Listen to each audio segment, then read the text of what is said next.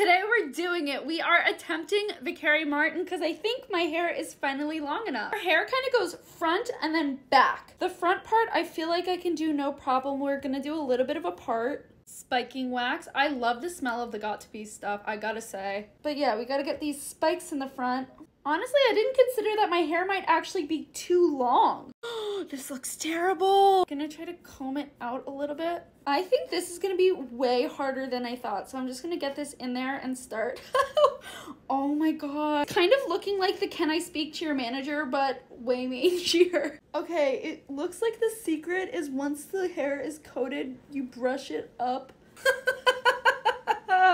I'm gonna try to style my sideburns into place because this part on Carey looks very tame. How far off are we? You know what? It's terrible, but I actually don't think that I did that bad of a job.